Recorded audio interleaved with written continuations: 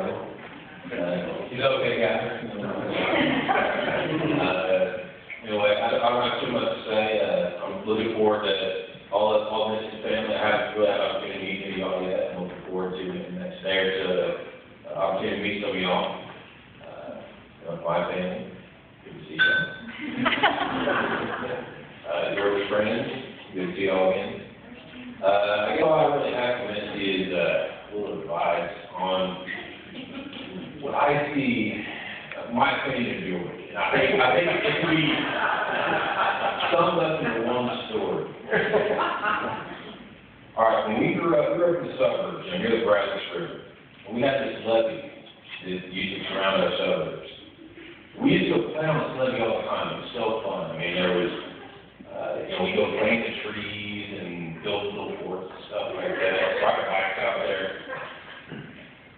And there was like was, it was, you know, it was levee. It was, you know, built to kind of divert some water and put it in there. And, uh, anyway, one day we were out there, really thirsty. And George decided, he said, you know what, I'm gonna drink some of that levee water. I said, George, don't drink the levee water. Bring it.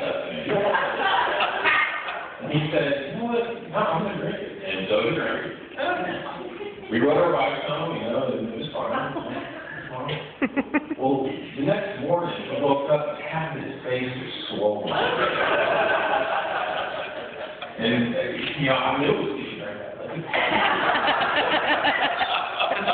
But, anyway, moral of that story, is he's stubborn.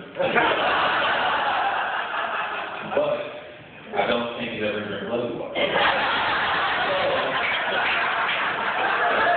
He learned.